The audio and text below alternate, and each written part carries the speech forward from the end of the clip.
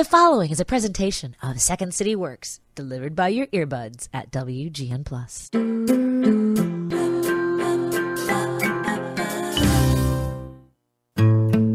Welcome to Second City Works, Getting to Yes and. I'm Kelly Leonard, creative advisor for the Second City. We are brought to you by Second City Works, which is the B2B arm of the world famous Second City Theater. You can find us at secondcityworks.com.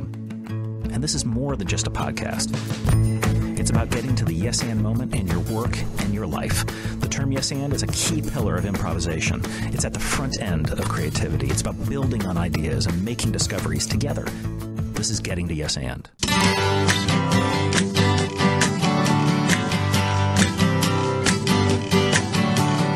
Working all day for a mean little man with a clip on tie and a rub on tan. He's got me running around the office like a dog around a track.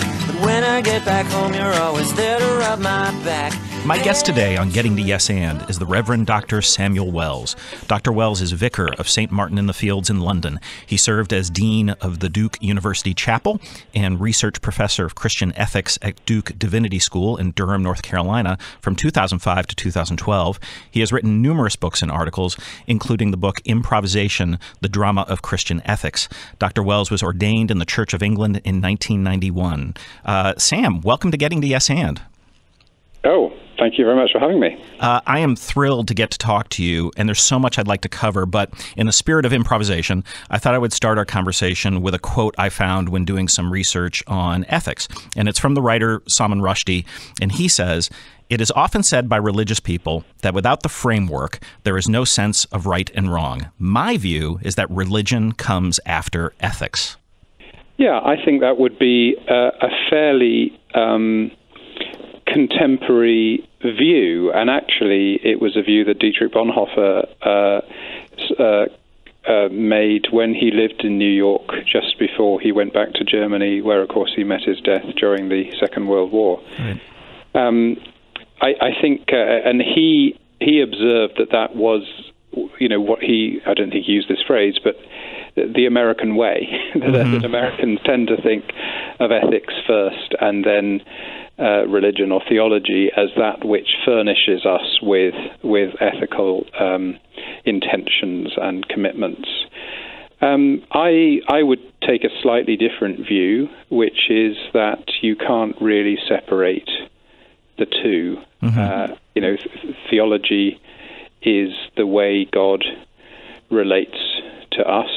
Uh, ethics is the way we relate to one another and to God. Right. Um, for me, uh, particularly as a Christian, because of the incarnation, because of Jesus being fully human and fully divine, I think the days when we can disentangle those two are, are gone. Yeah, yeah, I know exactly what you mean. Um, I was profoundly moved by your book on improvisation and Christian ethics, in part because it was such an unexpected way to look at two topics that I I had felt I had already knew a lot about, but as is true about so much, I quickly learned there's a lot I, I don't know. And early in the book, you offer that, quote, the Bible is not so much a script that the church learns and performs as it, as it is a training school that shapes the habits and practices of a community. Talk to us about that. Well, the theologian uh, George Lindbeck talked about three kinds of religion. He talked, uh, he used rather grand language, which I'll try and simplify, but he talked about what he called cognitive propositional, which was the pre modern view that the Bible gave us a series of propositions, and more or less of factual statements mm-hmm. about the world, and that they were comparable to the ones that Aristotle and the Greeks and you know Romans had given us too, and, and that there was a kind of a, a united world. Um, and a lot of people still see religion in that way as a series of claims, uh, truth claims, they're sometimes said. And then from the um, post uh, sort of scientific era onwards, in other words, from the 17th century onwards, people started to think in what Lindbeck calls experiential expressive ways. In other words, they evaluated religion by what it meant to their heart and how they managed to live it out. So it was very much the turn to the subject, as the philosophers call it. People, you know, we are we become the measure of all things rather than uh, an external reality. And then, but, but then what Lindbeck's proposing is a kind of a third turn, which is inspired by Wittgenstein, the philosopher, uh, which is to turn to seeing religion more about uh, uh as, along the lines of a language and a culture, as a series of, of rules and guidelines that we live within, and a way of speaking and a way of imagining the world. And and then he and others, others in particular, have have then conceived of that, particularly in terms of narrative. So, in other words, Christianity becomes a story that we enter. And then in my book, I talk about the way we enter that story in Act Four of a five-act play, uh, and that, that's kind of what I'm what I'm describing in that quote that you just used. I can go on to it, say more about that if you'd like me to. Yeah, well, in, what is very interesting to me because I think your the the improvisational door you walked through was based on Keith Johnstone's work, right? Uh, the book Impro. Definitely. Yeah. Yeah. No, you're absolutely right. Keith Johnstone was the was very much. I, I was. Uh, what happened was that I was in.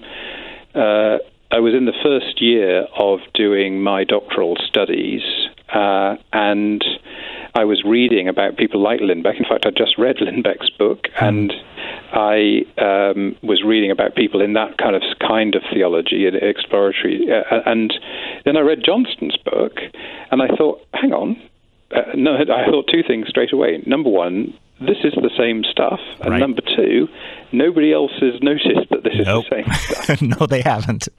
Uh, and what's so fa- I had a PhD. Yeah, and, and and what's so interesting about that for me is, and and Johnstone is wonderful and very story based, which which your your book as well.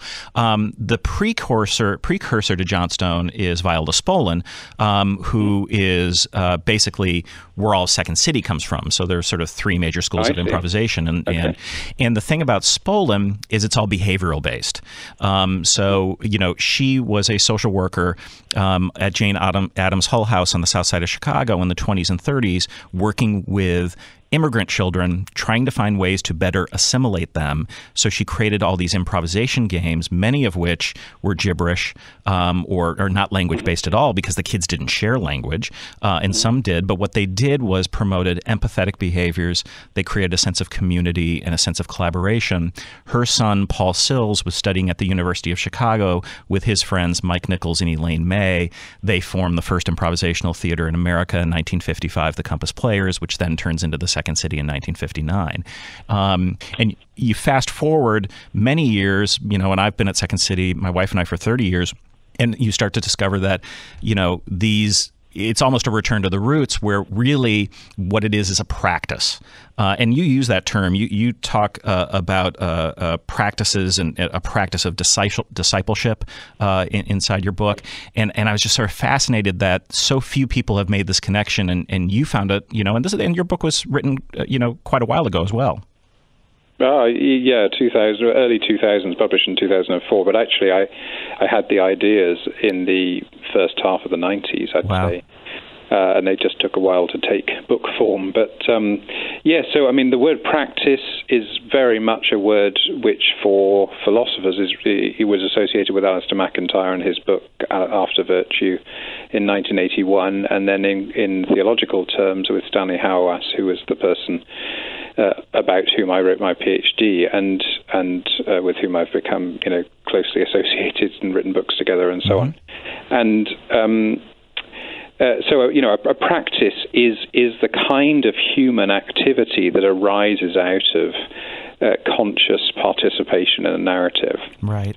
Uh, and and it's very closely aligned to habit. Yeah. So, you know, practice and habit. And of course, you know, as soon as I use words like that, then suddenly you're straight into improvisation. Yeah. And, and I mean, I, I guess, you know, one of the central stories in the in in the improvisation book is is is where I, I talk about this uh, this conversation about why a, a, medical procedure went wrong, and mm. and the two friends have a big disagreement about it. One says, "Oh, it's terribly unfortunate the boy died on the operating table." The other one says, "It's not unfortunate at all. It's uh, you know, it all goes back to when this man was a a, a a, medical student and he was playing golf all the time and missed all the lectures, mm-hmm. and he should have known the difference between the weight of chloroform and ether, and because he didn't, the, the reason he didn't was he was on the golf course, and because he didn't, the boy died." Right. And and so that's all about the formation of character through practice and habit, you know, 20 years before, and it's kind of by the time and and so the crucial breakthrough for me was to recognize that in the ethics I was writing about, there was a movement of, you know known as virtue ethics, which you know the central tenet of which was to say ethics isn't about making decisions. Well, a whole generation of ethics, including situation ethics, had taken for granted it was about making decisions. But but what this virtue ethics was pointing out was that you know these dilemmas may be very you know the, the classic sort of the the submarine sinking and who's using up the most oxygen and the mm-hmm. overweight man maybe we have to kill him for the to get the others nine, nine out of the pipe that kind of scenario which probably n- not me nor any of your listeners have actually found themselves in but still fascinated ethicists for, for, for a couple of decades um, and was also the way I was uh, was introduced to ethics. You know, wasn't the issue. The the interesting questions were, you know, where was the submarine going, and and why were they on it, and who were they, and uh, you know, they you can't address uh, decision. And of course, that's that's just the same as saying improvisation isn't actually just about spontaneity. It's all about formation and narrative. You know, that goes back a, a long time, so that when you do find yourself in a crisis, you, you've already learned to take the right things for granted. So you don't even realize that you're taking a decision because it's uh, it sort of comes naturally. Right. Uh, and, and I love this quote that you have, which, which you talk about, um, you know, years of steeping in a tradition so that the body is so soaked in practices and perceptions that it trusts, trusts itself in a community to do the obvious thing. And this is the unthinking uh, aspect of improvisation. So you, you know what what you do is you try not to be so much in your head, and you can't be when you're improvising because you're making it up as you go along. But you are drawing on um, uh, ideas, uh, uh inspirations, characters, knowledge, uh, and, and, and behaviors uh, that will allow a scene to move forward. And, and what we teach is, you know, that can't be negative, right? To move a scene forward, you can't live in no. You have to live in yes and. You have to live in an affirm and contributing mindset. Um, and to me, that's there's a very easy draw there between uh, the habits of people who are ethical rather than just a knowledge transfer of this is what's right and this is what's wrong.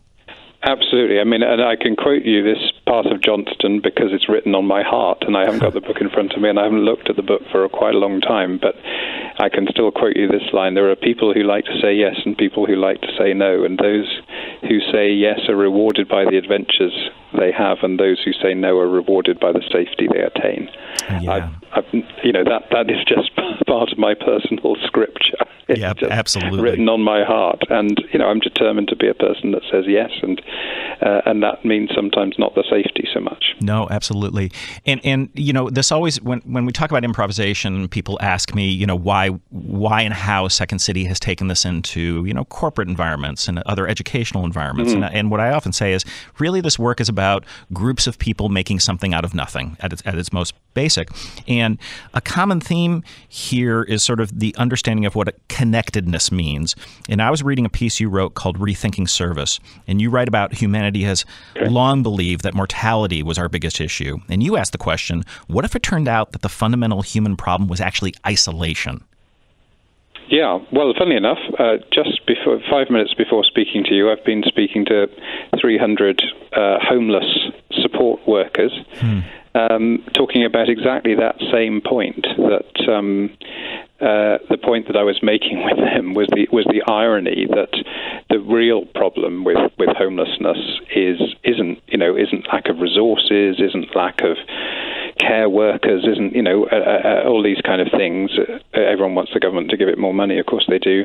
It's it's isolation from yeah. you know and the inability to sustain relationships. And, and, and the irony I was trying to point out to homeless support workers is the reason we were having this big conference and hosting them was because they go through the same experience too. Sure. You know, they're, they're you know they're they're isolated too. So uh, to me, that that insight uh, is uh, is fundamental to, to my social thought. That uh, another way that I put it, I think, also in that article is, uh, you know, that the most significant word in theology is and ethics is with. Yeah. But actually, with is is the the key word, and uh, you know, improvisation is a lot of it is about keeping the story going, and in other words, maintaining the relationship. Right. Um, and you talk about two the the counter of that is four right so we talk a lot mm. about doing things for people which which is you know a, a very seemingly noble and, and smart thing but you know much more powerful is to be with people because well one of the one of the great distinctions I found was from the philosopher Gabriel Marcel, who distinguishes between a problem and a mystery. Hmm. So a problem is something generic. You've seen a hundred of them before. It's like a plumber fixing a faucet. Uh, you know, you you learned this in plumber school, and and uh, and you and the key word in relation to problem is fix. Um, whereas a mystery you've never seen before. They're, they're sui generis. There's, there's never been another of these in the world. Uh, and you can't walk around the outside of them and make a decide, you know, like like a surgeon deciding where to make the incision. You actually have to walk into them and see them from the inside. And of course, you know, again, what I was saying to the homeless support workers is the guys you're working with on the streets all the other agencies treat them as a problem. You're treating them as a mystery. Right, right, right, right. Yeah, and and it, it, it becomes so true in the sense that you know the ills of the world, right, are, are are are so massive, and and you know there's so many people trying to do to do good, and and you start to think we need radical solutions, and maybe the radical solution is stop stop trying to do for and start doing with, be with folks, and stop thinking about the word solution. I mean, yeah, it, it, yeah. it's uh, because I mean that's something that improvisation has taught me mm-hmm. uh, a, a, way that's taught me to think is is because because there's something about for which actually both controls and concludes the narrative. Whereas there's something about with that says, you know, it, it, it's not actually a big deal where we go. Right. It, it's, uh, I mean, going back to your point about corporates, I mean, uh, uh, the, the the Harvard guru, you know, business guru Ron Heifetz. I don't know if you come across him, but you know, mm-hmm. he talks about uh, the the difference in leadership between the challenge for the gorillas of um, the leopard. Mm-hmm. Uh, and the hierarchy that develops amongst the gorillas to respond to the leopard, you know, who's the wisest and the strongest and so on. And then along comes somebody with a gun. And that hierarchy then has to change, and then they have to work out what of what's worked to survive against the leopard they need to keep, what they need to jettison because it's irrelevant to the gun, right. and what they need to find from their history that they didn't need to survive against the leopard, but they need to survive against the gun. And that is improvisation. Yeah. Now, I don't know if anyone's whispered that in his ear, but that is what he, then, you know, he sells millions of books and gets the big bucks for telling business people this stuff about the gorilla, and it's very good. Yeah. However, it's all in Johnstone, really. Right, right, right. And because the truth changes. And and I think, you know, we're, we're, we're so, you know, once we find a truth, you know, we're like, oh, thank God I found this truth. Um, but the reality, that changes all the time. And so the ability to be, to pivot, uh, the ability to be agile. And, and I want to tie this too to your, uh, your, your writing and some of uh, your, your thoughts on marriage, because in, indeed, I, I think, I think more people probably understand how a successful marriage is being with someone as opposed to being mm-hmm. for someone. Um, whereas extending that out to bigger groups, they maybe don't make that that leap. And and one of the things I just love that you said, which is uh, about marriage, is it's a constancy that runs through mistakes, misunderstandings, and failures, which is such an improv thing. Uh, very much, very much so. And I, I mean, I talk about the three faces of marriage. I don't know if you picked this up in the I same did. place. Yeah. There's the, um, there's the face-to-face, which obviously physical, attractive, direct encounter, eyeball eyeball to eyeball, the the side by side, which is the you know making dinner together, bringing up kids together, and the and the back to back, which is you know when you're both at your separate workplace, for example, and those kinds of things. And that I don't know many marriages that work on all three of those levels, right. but as I say in that that piece, and the in the words of the great philosopher Meatloaf, two out of three ain't bad, and you you, you, you make up, and that's where the improvisation comes. You, you make up for the deficiencies in one area through the enjoyment of the of the other two. Yeah, absolutely. Um, and I love that we have a Meatloaf reference. So you know, midway through the conversation, that's fantastic. Yeah. Um, you know, the other thing that was interesting, and this was a a video you did when you were at Duke, and you were being talked to about the Defense of Marriage Act, right? Um, which was, you know, I think think in 2012, 2013. Yeah, um, and 2012, yeah. Yeah, and and uh, I love a phrase you said, which is the marriage I believe in needs no legal defense. Mm. Well, and also I, I, I, I um, you know, I find it I find it rather bizarre that um, you should regard as your great enemies the people that want to join your institution. Yeah.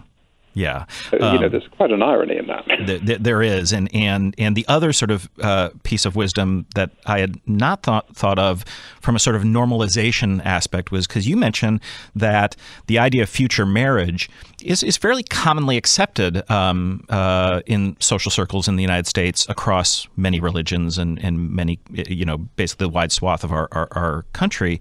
Yet there's really no justification in the New Testament for further marriage. Um, but society has come around.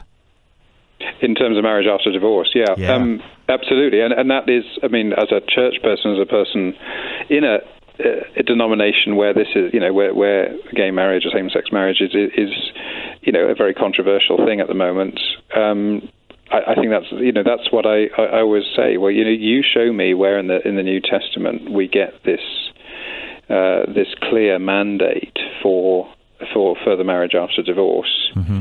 Uh, and then you know then, then, let's have a conversation. But you can't you know you can't pick and choose these things. And and uh, you, the church has found a way. And you know I remember back in the early '80s, it looked like this could be a real real deal breaker. Right. Um, but yeah, I, I, haven't had a conversation about this with anybody for decades. No, nobody's interested. It's it's we've moved on. We've we've we, we've you know we've said things like well you know divorce happens and and and and often actually it can be the right thing even for the church. You know, people say these things as a matter of course now, uh, but but it's but everyone understands that divorce makes life complicated or recognises the complications already in life. Well, most, not all of those things, but most of the things I've just said, you know, apply in the case of same-sex attraction and same-sex relationships. That uh, you know, they are here.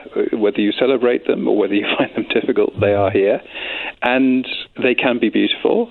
And uh, it, and it's not as if you know heterosexual marriage is a is a panacea for everything. It's not a picnic. There's a there's a lot of chaos out there, sure. and and here are people faithfully seeking to make as beautiful as they can the circumstances of their life. And you know, when you're looking for for enemies to find, that's a very strange place to start.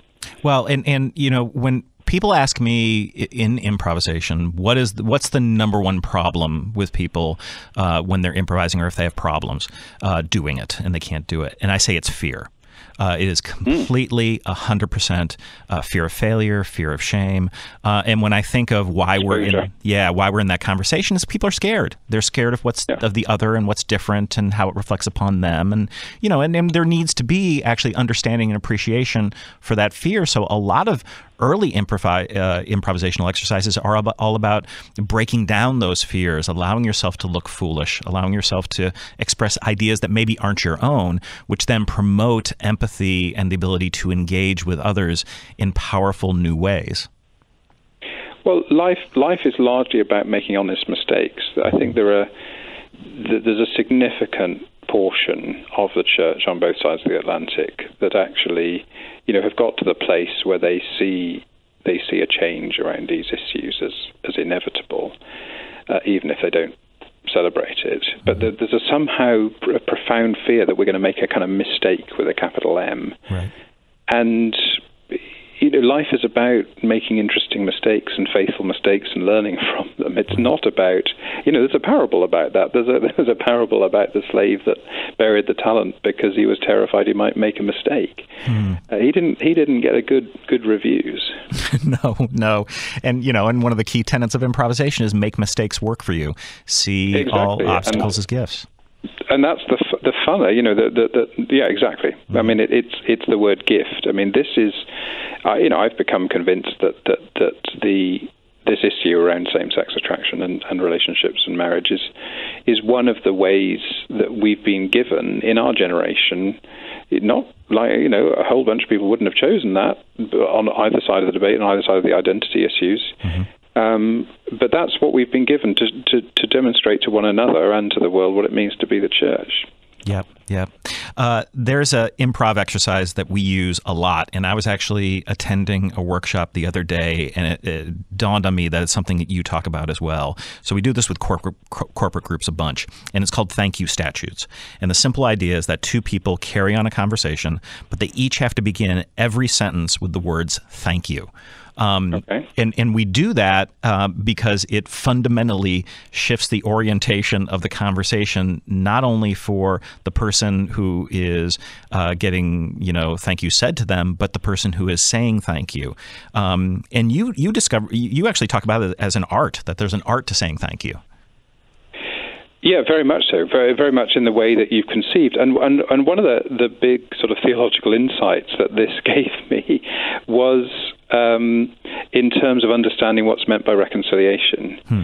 That, uh, you know, people walk away, you know, people hate conflict. Right. And they uh, they get very frustrated with conflict in, in the in the church because they somehow feel that it, you know if Jesus has made everything all right, there shouldn't be any conflict. So you're obviously irrational and stupid. Otherwise, there wouldn't be a conflict. Mm-hmm.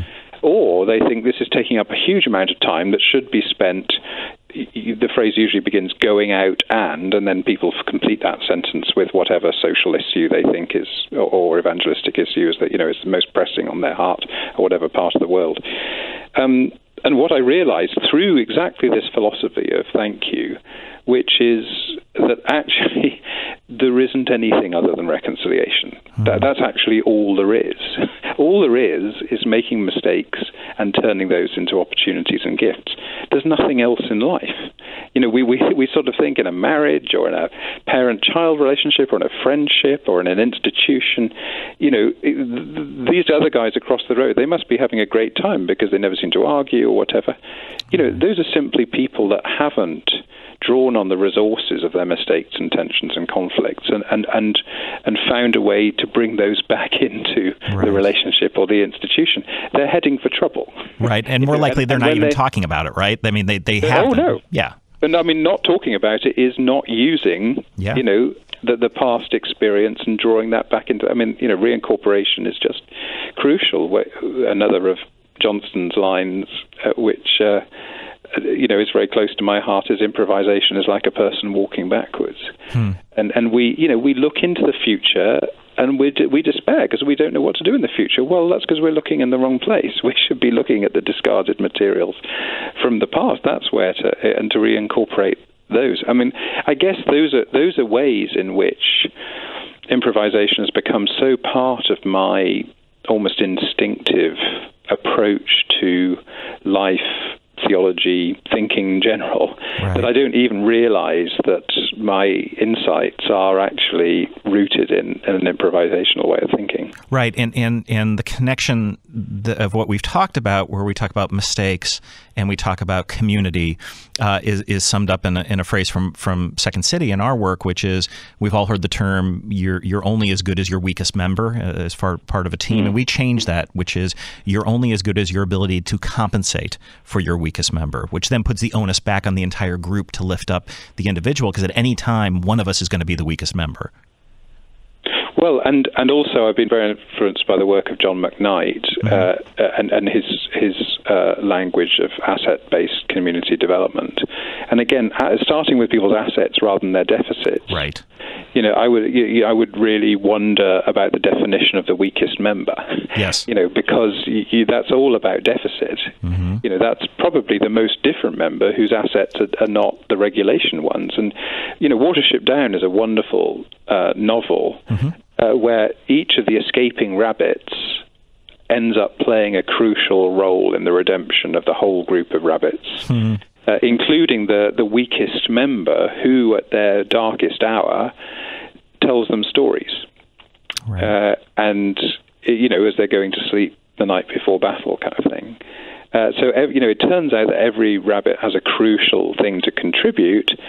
And, you know, the way I transpose that into contemporary church and society is to say that you know the church has for far too long, I won't put a date on it, but for far too long neglected and even rejected the gifts of the people on the edge of society. Mm. And then it has experienced its life as scarcity. Well, whose fault is that? Right, right. You know, it hasn't found a way to incorporate those whom society has rejected.